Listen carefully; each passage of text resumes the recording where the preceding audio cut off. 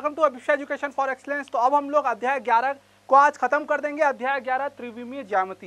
ये बहुत ज़्यादा इंपॉर्टेंट है और बहुत ज़्यादा ईजी है क्योंकि ये ना, अगर आप लोग सदीश, अध्याय दस में हम लोग सदीश बीज गणित पढ़ चुके हैं, अगर वो आप लोग समझ गए हो तो वो वाला अध्याय इस अध्याय को समझने में आपको हेल्प करेगा। तो इसमें मैं आप लोग को ये मान के चल रहा हूँ कि इसमें जो डेरिवेशन वाला पार्ट है ना, जब मैं बात करूँगा दो रेखाओं के बीच की दूरी और वो परस्पर लंबवर कब होते हैं, ये सब आगे फॉर्मूला आएगा। क्वेश्चन में जो लिया हूँ उसका डेरिवेशन वाला पार्ट आप लोग कर चुके हो कि मैं इतना मान के चल रहा हूँ, मैं डायरेक्ट फॉर्मूला करूँगा, क्योंकि अभी डेरिवेशन कराने का कोई मतलब नहीं है। तो ठीक है, इस इस अध्याय ग्यारह ना, इस अध्याय ग्यारह में इसका वेटेज क्या है, अगर मैं बात करूँ तो एक क्वेश्चन आएगा, एक क्वेश्चन आएगा, और वो जो क्वेश्चन रहेगा, एक क्वेश्चन वो रहेगा, दो मार्क्स का रहेगा, दो नंबर का एक क्वेश्चन आएगा, और एक क्वेश्चन आएगा, वो सीधा छः मार्क्स देके जाएगा छः मार्क्स देके जाएगा छः नंबर का क्वेश्चन रहेगा मतलब कि हम लोग को आठ नंबर इससे पूरा पूरा लेना है और इसमें जो क्वेश्चन की संख्या है, वो क्वेश्चन की संख्या है दो। मतलब दो क्वेश्चन आएगा और वो आठ नंबर दे के जाने वाला है। तो अगर उस लिहाज से मैं बात करूँ, यार, दो क्वेश्चन बस और आठ नंबर तो ये तो हम लोग को चाहिए ही चाहिए चाहिए ही चाहिए। तो मैं जो जो करा रहा हूँ, आप लोग को वैरायटी ऑफ़ क्वेश्चंस कराऊँगा, जिसमें मैक्सिमम टॉपिक मैं आप लोग का कवर करा दूँगा। उस फॉर्मूले को आप लोग याद करना, क्योंकि ये जो अध्याय है ना, ये अध्याय पूरा फॉर्मूला बेस्ड है। ऐसा कुछ एकदम अगर आप लोग डेरिवेशन नहीं भी करे होगे ना तो भी चल जाएगा। लेकिन मैं बता दूँ, ये जो फॉर्मूला है, सब डिराइव होके आता है, ठीक है? तो डेरिवेशन के बाद और कभी चांस होगा तो मैं आप लोग के साथ करूँगा, पूरा फॉर्मूला ला के दिखाऊँगा बट अभी सिर्फ़ फॉर्मूले की बात करेंगे। तो देखो क्वेश्चन नंबर वन यदि एक रेखा के दिक अनुपात ये है तो उसकी दिक को ज्याए ज्ञात कीजिए। ध्यान से देखना, हम लोग कभी कभी अध्याय दस और अध्याय ग्यारह, है ना? क्योंकि दोनों में सदीश का यूज़ होता है तो कंफ्यूज मत होना, ठीक है? कंफ्यूज मत होना। यहाँ पे देखो क्या बोला है तो आप लोग प्रैक्टिस करना। ऐसा नहीं कि अध्याय ग्यारह में पूरा अध्याय दस का कंसेप्ट लगा रहे हो। देखो, यदि एक रेखा की दिक अनुपात ये है तो उसके दिक को ज्याए ज्ञात कीजिए बोला। तो ध्यान से देखो, दिक अनुपात हम लोग को दिया है। दिक अनुपात दिया है ना? तो सबसे पहले लिख लो, दिया है दिया है। दिक अनुपात क्या है? दिक अनुपात दिया है, दिक अनुपात दिक अनुपात। Okay, sir. दिक अनुपात सर दिया हुआ तो दिख रहा है। क्या दिया हुआ है? Two, comma, minus one, comma, minus two. ठीक है? इसको आप लोग पहले वाले को मानो ए ये ए क्या है? दो दिया हुआ है। यहाँ पे सेकंड वाला बी माइनस वन दिया है और ये जो सी है, माइनस टू। आप लोग को क्या करना है? इसकी दिक को ज्याए ज्ञात करना है। तो देखो, दिक को ज्याए क्या होता है? दिक को ज्याय होता है ए बटे under root A square plus B square plus C square, comma comma, क्योंकि यहाँ पे तीन बिंदु है तो ये होगा बी, इस बी के लिए करेंगे, इस बी के लिए करेंगे, यहाँ पे भी सेम रहेगा B upon A square plus B square plus C square मतलब ये अंश बटा हर होता है, हर वाला देखो पूरी क्वांटिटी सेम है। और लास्ट में क्या आएगा? ये सी के लिए सी बटे A square A square plus B square plus C square ध्यान से बस देखना। तो इसमें बस वैल्यू पुट कर दो, बस वैल्यू पुट कर दो। ए की वैल्यू क्या है? टू यहाँ पे आप डायरेक्ट करेंगे हम लोग। टू का स्क्वायर क्या होगा? Four plus B square minus one का square one plus minus two का स्क्वायर होता है फोर माइनस टू का स्क्वायर होता है फोर बराबर। बी क्या है? माइनस वन माइनस वन और इसको तो ये तो यही होगा। तो ये लिख देता हूँ मैं। यहाँ पे four plus one plus four sir बेहतरीन। यहाँ पे सी क्या है? सी है सर माइनस टू और यहाँ पे ये तो सेम ही है four plus one plus four तो इसके आगे और सॉल्व करते हैं, इसको जोड़ते हैं तो क्या आ जाएगा? ये डायरेक्ट मेरा आंसर होगा और डायरेक्ट मेरा ये आंसर होगा, क्या हुआ? दो बटे देखो क्या होगा? चार चार, आठ, एक, नौ. रूट नाइन होता है थ्री रूट नाइन होता है थ्री क्या आप लोगों को पता है क्या? बहुत बड़ा सस्पेंस खोल दिया. रूट नाइन थ्री होता है तो दो बटा तीन हो जाएगा और ये माइनस एक बटा तीन हो जाएगा और ये माइनस दो बटा तीन हो जाएगा। ये मेरा उत्तर हो गया। दो नंबर के लिए आएगा ये, दो नंबर के लिए आएगा। अब ध्यान से देखना, यहाँ पे क्या पूछ रहे हैं? दिक को साइन ज्ञात करो। दिक को या दिक को साइन एक ही है। यदि रेखा एक्स, वाई, जेड अक्ष के साथ क्रमशः यहाँ पे देखो कोण बना रही है, नब्बे, एक सौ पैंतीस और पैंतालीस का कोण बनाती है तो इसकी तो इसकी दिक कोसाइन ज्ञात करो। दिक को या दिक कोसाइन एक ही है। पर यहाँ पे अगर ध्यान से देखोगे तो आप लोग को एक रेखा का ना दिक अनुपात दिया है। और यहाँ पे क्या दिया है? यहाँ पे कोण दिया हुआ है। तब कैसे करना है? ध्यान से देखना। ध्यान से देखना। जब कोण दिया होता है तो क्या करो? यहाँ पे एक कोण को मान लो, अल्फ़ा मान लो, एक को बीटा मान लेंगे और एक को गामा मान लेंगे। ठीक है? तो ये जो अल्फ़ा है, अल्फ़ा मान लो 90 दिया है 90 डिग्री। बीटा जो दिया है, बीटा 135 डिग्री 135 डिग्री और गामा। 45 डिग्री दिया है 45 डिग्री तो आप लोग को अगर इसका दिक को साइन अगर मैं पूछूँ तो सिंपल हो जाएगा ये। Cos alpha comma cos beta comma cos gamma तो वैल्यू पुट कर दो। अल्फ़ा की वैल्यू है 90 तो ये कॉस 90 डिग्री बीटा की वैल्यू है कॉस 135 डिग्री और गामा की वैल्यू है कॉस 45 डिग्री 45 डिग्री 45 अच्छे से बना लेते हैं कॉस 45 डिग्री क्लियर है? तो कॉस 90 डिग्री क्या होता है? ज़ीरो होता है. और कॉस 135 अब कॉस 135 की वैल्यू तो नहीं मालूम तो इसको तोड़ तो सकते हैं हम लोग. कॉस 90 प्लस 45 डिग्री लिख सकता हूँ क्या मैं? हाँ लिख सकते हो सर इसको कॉस 45 क्या होता है? एक बटे रूट टू या आप लोग को टेबल प्रतिलोम त्रिकोणमिति फलन में आप लोग को पूरा बता दिया हूँ. ठीक है? तो ये ज़ीरो अब ये मैं आप लोगों को बताया हूँ, अगर 90 और 270 होता है तो चेंज होता है। तो कॉस 90 है तो चेंज हो जाएगा। तो कॉस 90 प्लस थीटा क्या होता है? साइन थीटा और थीटा की वैल्यू है 45 अब ये 90 प्लस थीटा दूसरे चतुर्थांश में और दूसरे चतुर्थांश में ये कॉस माइनस होता है तो ये माइनस कर दिया। ये वैसे हो जाएगा one by root two one by root two तो मेरा आंसर फाइनली आंसर आ गया, ये ज़ीरो का ज़ीरो ये माइनस का माइनस और साइन 45 कितना होता है? साइन 45 डिग्री क्या होता है? ज़ीरो एक बटा दो, एक बटा रूट दो होता है, एक बटा रूट दो। और ये है, ये माइनस में और ये प्लस में एक बटा रूट दो ये। तो ये आंसर हो गया, ये आंसर हो गया। तो ध्यान से देखना तो ध्यान से देखना, जब आपका दिक को जाए अगर पूछ दिया है, और आप लोग को ए बी सी मालूम है तो इस मेथड में जाना। अगर कोण दे दिया है दिक को साइन या दिक को जिया, दोनों एक, पूछा तो इस इस कैटेगरी से जाना। देखो यहाँ पे अभी क्या लिखा है? दिक को साइन। मैं एक क्वेश्चन और लिया, जिसमें दिक को ज्यान लिखा, ये लो ये लो। तो एक रेखा दिया है एक्स वाई जेड अक्षों में। ठीक है, क्रमशः नब्बे, साठ और तीस डिग्री का कोण बनाती है तो दिक को ज्या ज्ञात करना है। सेम क्वेश्चन है सेम क्वेश्चन है। बस दिक को साइन है यहाँ और दिक को ज्या है। सेम क्वेश्चन है। तो हम लोग कैसे करे थे? सबसे पहले alpha beta gamma alpha beta gamma का बंदोबस्त कर सकते हो क्या आप लोग? हाँ सर, ये 90 तो दिया हुआ है। 90 और 60 90 60 90 60 30 डिग्री। तो ठीक है ना तो कॉस 90 हो गया ये। सर कॉस 90 और ये कॉस 60 कॉस 60 और ये हो गया कॉस 30 तो यहाँ पे जो भी आएगा वैल्यू वो आप लोग कमेंट करके बताओगे। यहाँ पे कुछ वैल्यू आएगा कॉस 60 की कुछ वैल्यू आएगा और यहाँ पे।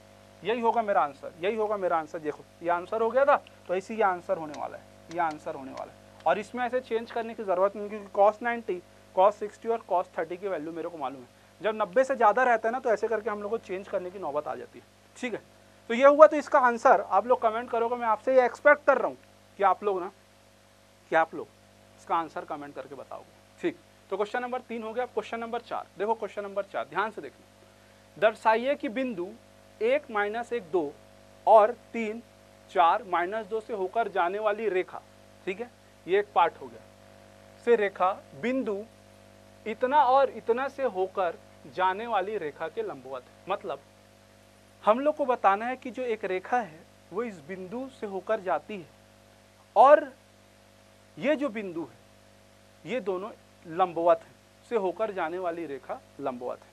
तो ध्यान से देखना आप लोग, जब कभी भी इस टाइप का क्वेश्चन आए और लंबवत का केस पूछा रेखा के लंबवत का केस पूछा तो इसका फॉर्मूला डायरेक्ट मैं लिख रहा हूँ फॉर्मूला होता है A one into A two plus B one into B two plus C one into C two is equal to zero अगर ये हम लोग करते हैं और ज़ीरो आ जाता है, अगर मैं इन सब, इन दोनों का मल्टीप्लाई इन दोनों का मल्टीप्लाई इन दोनों का मल्टीप्लाई करके जोड़ दूँ तो इसका सम अगर ज़ीरो आ गया तो मैं बोलूँगा कि लंबवत है।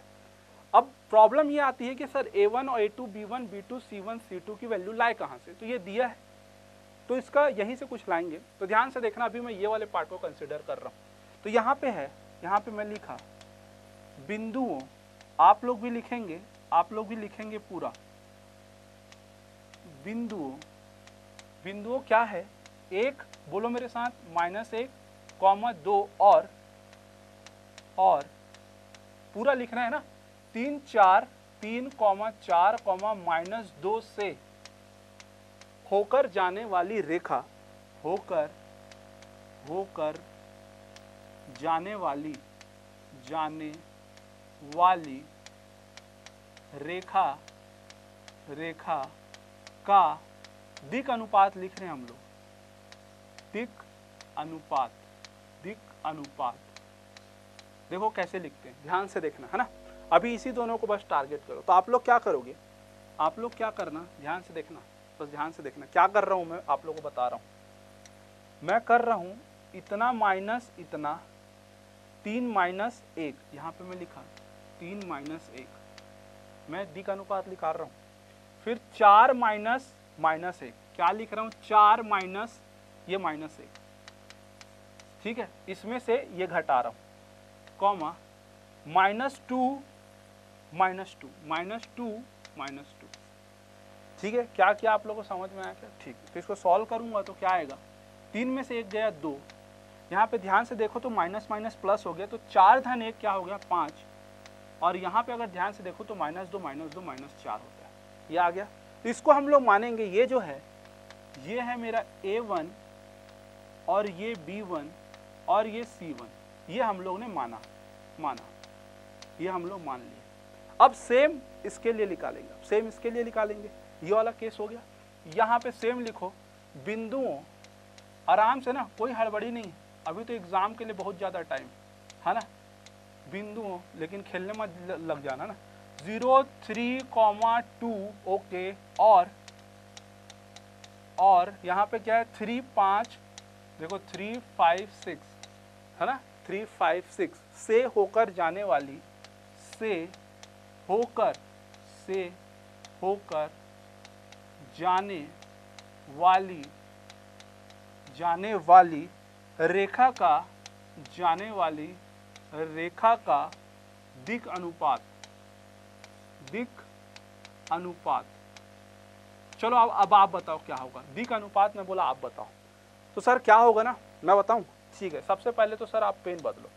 पेन बदलो और ना इस तीन में से इस ज़ीरो को माइनस कर दो सर। तीन माइनस ज़ीरो। ओके। उसके बाद पाँच माइनस तीन करिए। पाँच माइनस तीन। उसके बाद छः माइनस दो करिए। ओके सर, छः माइनस दो। ये लो। अब फिर आप पेन चेंज करिए। ठीक है? अब तीन में से ज़ीरो गया। तीन में से ज़ीरो गया तीन। पाँच में तीन गया दो। छः में दो गया चार। तो इसको हम लोग क्या मान लिए? इसको हम लोग मान लिए A two comma B two comma C two ये मैं माना। ठीक है? तो आपके पास ए वन की वैल्यू बी वन की वैल्यू सी वन की वैल्यू आ गई। ए टू की वैल्यू बी टू की वैल्यू और ये सी टू की वैल्यू आ गई। अब इसमें रख देते हैं, इसको समीकरण एक दे देते हैं। इसको समीकरण एक। समीकरण एक। पूरा लिखेंगे भाई। छः नंबर के लिए हो सकता है, आ जाइए। छः नंबर के लिए आ सकता है। ठीक है तो हम लोग लिखेंगे। A one A one A two B one B two C one और सी टू का मान समीकरण समीकरण एक में, समीकरण एक में रखने पर, समीकरण एक में रखने पर, चलो, समीकरण एक में रख रहा हूँ, समीकरण एक में रख रहा हूँ, अब नीचे मेरे पास जगह नहीं है, मैं यहाँ पे लिख रहा हूँ, लेकिन आप एक के नीचे एक लिखना। तो क्या हो जाएगा A one into A two A one क्या है? Two two into A two क्या है? Three two into three plus two into three five into two five into two ध्यान से देखना five into two five into two कोई calculation तो mistake नहीं है, ध्यान से हम लोग देखते रहेंगे। ठीक है, यहाँ पे क्या है? Minus four minus four C one C two क्या है? सी टू है four four is equal to zero आना चाहिए। तो ध्यान से देखो, तीन दूनी छः प्लस पाँच दूनी दस चार चौक सोलह माइनस है तो ये माइनस। ज़ीरो आएगा तभी लंबवत है। दस और छः सोलह माइनस सोलह बराबर ज़ीरो। आ गया, देखो, सोलह और सोलह कट गया तो ज़ीरो बराबर ज़ीरो। तो हमको इसका sum is equal to zero लाना था और ज़ीरो आ गया हमारा। इसको सॉल्व करें तो ज़ीरो बराबर ज़ीरो आ गया। तो मैं लिख सकता हूँ, अतः अतः बिंदु इतना और इतना से होकर जाने वाली रेखा, बिंदु इतना और इतना से होकर जाने वाली रेखा के लंबवत है। या शॉर्ट में ऐसे लिख सकता हूँ, अतः रेखा लंबवत है। अब उत्तर में लिखेंगे हम लोग। उत्तर में लिखेंगे, देखो छह नंबर के लिए करके लिखना पड़ेगा। क्यों? देखो, अब तक का जो क्वेश्चन था ना, अब जैसे अगर मैं बात करूँ टिग्नोमेट्री की बात करूँ तो उसमें हम लोग को बस सॉल्व करते करते करते करते जाना था। ये सब लिखने की कोई ज़रूरत नहीं पड़ती वहाँ लेकिन जब ये ये जो अध्याय है ना, इसमें आप लोग को लिखने की ज़रूरत पड़ेगी। इसमें आप लोग को लिखने की ज़रूरत पड़ेगी। ठीक है? तो हम लोग बोल सकते हैं अतः अतः रेखा अतः रेखा लंबवत अतः रेखा लंबवत अतः रेखा लंबवत है। ये पूरा ऐसे लिख के दिखाना पूरा ऐसे लिख के दिखाना ठीक है? तो इस वीडियो का लास्ट क्वेश्चन चलिए इस वीडियो का लास्ट क्वेश्चन इस, इस अध्याय का नहीं इस वीडियो का लास्ट क्वेश्चन हम लोगों को क्या पूछा है? रेखा दे दिया है इतना और इतना के बीच का कोण ज्ञात करो। कोण ज्ञात करो। ध्यान से देखना, कोण ज्ञात करो आया है। देखो, रेखा किस फॉर्म में रेखा किस फॉर्म में इसका कोण का सूत्र क्या होता है? क्या आप लोग को मालूम है? तो ये होता है cos theta cos theta A one A two plus B one B two plus C one C two बटे under root A one square plus B one square plus C one square under root under root A two square plus B two square plus C two square और बाद में फिर theta की value निकालेंगे, इधर cos inverse हो जाएगा। तो ये सूत्र हुआ, कोण का, ये इसके, इस प्रश्न के लिए। तो हम लोग को A one A two B one B two C one C two देखना पड़ेगा क्या है। तो अगर मैं स्टैंडर्ड फॉर्म से अगर कंपेयर करूँ तो ये जो होता है, ये ये ए वन है ये बी वन है और ये सी वन होता है, नीचे वाला। ये ए टू ये बी टू और ये होता है सी टू तो अब तो बेहतरीन हो गया। यहाँ पे लिख के दिखाना है। लिख के दिखाना है। ए वन ए वन बराबर दो। बी वन बराबर बी वन बी वन कहाँ है? बराबर दो। दो दो। सी वन बराबर सी वन बराबर एक। यहाँ पे कॉमा कर दीजिए। ए टू बराबर हो गया चार। ओके। बी टू बराबर हो गया वन ओके और सी टू बराबर हो गया एट ठीक है? वैल्यू इसमें पुट कर दो। तो क्या हो जाएगा? बस ध्यान से देखना। आंसर तो आ गया। कॉस थीटा बस एक सूत्र को देखना था। A one into A two मतलब two into four two into four plus B one into B two two into one two into one plus C one into C two one into eight one into eight ये आ गया। ये। अब क्या करना है? A one square plus B one square plus C one square root में। तो आप लोग मेरे को बताते जाओ फटाफट। ए वन स्क्वायर मतलब चार प्लस बी वन स्क्वायर मतलब चार प्लस सी वन स्क्वायर मतलब एक। ठीक है? एक का स्क्वायर एक होता है। अब ए टू स्क्वायर चार का स्क्वायर सोलह प्लस एक का स्क्वायर एक प्लस आठ का स्क्वायर चौंसठ। क्लियर है क्या? सब क्लियर है। तो ये हो जाएगा कॉस थीटा चार दूनी आठ प्लस दो एक कम दो प्लस आठ एक कम आठ। चार चार, आठ और एक नौ। इंटू ये क्या आ रहा है देखो। चौसठ और छः सत्तर सत्तर और दस, अस्सी अस्सी और एक, इक्यासी। ये क्लियर है? बहुत बेहतरीन आ रहा है। आठ आठ, सोलह, सत्रह, अठारह। रूट नाइन जो होता है, वो थ्री होता है। रूट इक्यासी नाइन की वैल्यू नाइन की वैल्यू समझ गए? या आप लोग को आता है कि नहीं? हाँ? रूट नाइन बराबर तीन होता है। नौ नहीं इक्यासी होता है। इक्यासी का नौ होता है। ठीक है? हम्म।